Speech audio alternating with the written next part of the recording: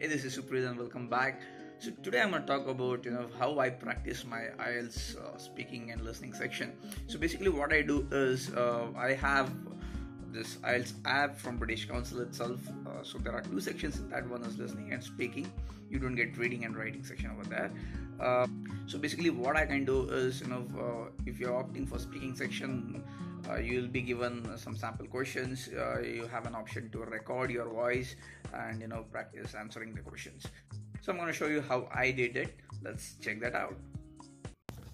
Well thank you for the question. So to answer this i would say i live in a 2 bhk apartment. Uh, when i say 2 bhk apartment it means uh, i live in an apartment which has a two bedroom uh, one bathroom and one kitchen so uh, it's pretty comfortable for people of three or a small family to live a comfortable life. So besides this there are few advantages like you have people around you you get a community. Been couple of years for me you know uh, residing over there.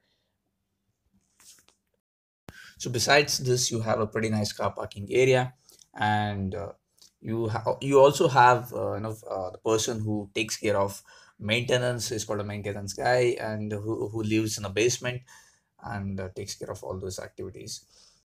So apart from this you have children's play area and a couple of other places where you can sit back and relax.